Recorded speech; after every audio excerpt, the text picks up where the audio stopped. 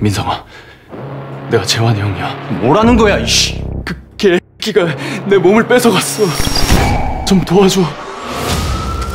광역수사대 소속 형사와 연쇄살인 유령 용의자가 실종된 지 어느덧 한 달여가 지나고 있습니다. 전형이야 내가 왜 이 살인마 몸에 들어와 있는 거야? 나한테 무슨 짓을 한 거야? 네가 아직 상황 파악이 안 되나 본데 나 이제 네가 사랑하는 와이프랑 딸이 살고 있는 집에 들어가. 원하는 게 뭐야? 나의 기억. 네가 찾고 있던 나머지 새놈 산채로 내 앞으로 잡아와. 지금 네가 내 얼굴 가지고 있잖아. 그걸 잘 이용하라고. 몸을 바꾸는 수술? 그런 게 의학적으로 가능해? 난 네 몸을 뺏은 게 아니야. 잠깐 빌린 거지